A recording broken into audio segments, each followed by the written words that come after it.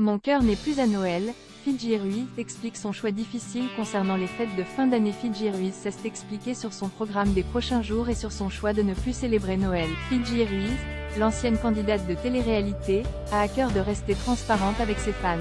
La jeune femme est notamment régulièrement interrogée sur sa conversion à l'islam, un sujet sur lequel elle n'hésite pas à prendre la parole pour expliquer ses choix. Une question revient souvent parmi ses abonnés. Quelle a été la réaction de ta famille face à ta conversion? Fidji a ainsi avoué que sa décision a entraîné plusieurs difficultés. Alors mes parents, je ne leur ai pas dit tout de suite. J'ai attendu vraiment qu'ils voient mon comportement. Mes parents ont vu que je parlais de plus en plus de religion sur mes réseaux sociaux. Ils avaient un peu la puce à l'oreille.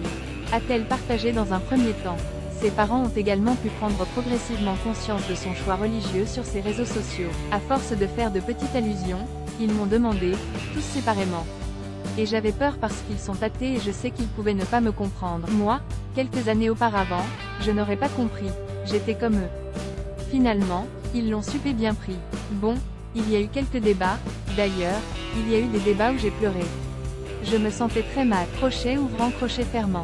Je n'avais pas suffisamment de connaissances, je n'étais pas assez forte pour avoir suffisamment de répliques, a-t-elle toutefois avoué. Aujourd'hui tout est apaisé selon les dires de la jolie brune. Néanmoins, les événements à venir ces prochains jours ont conduit Fidji à prendre certaines décisions. Fidji prend la parole sur cette période.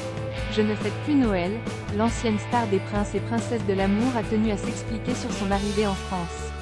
Elle a ainsi rejoint sa famille pour passer cette période de fête à leur côté. Ma famille n'est pas musulmane. Donc il y a plein de choses qu'ils ne comprennent pas comme le fait que je ne fête plus Noël.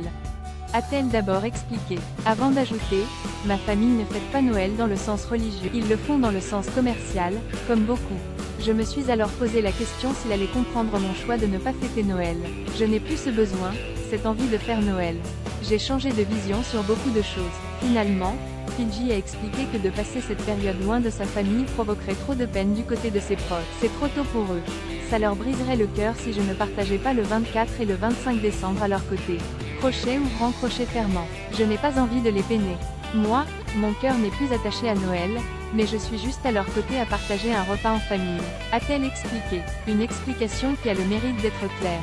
Cette dernière a d'ailleurs suscité des réactions bienveillantes de la part de la communauté de la jeune femme.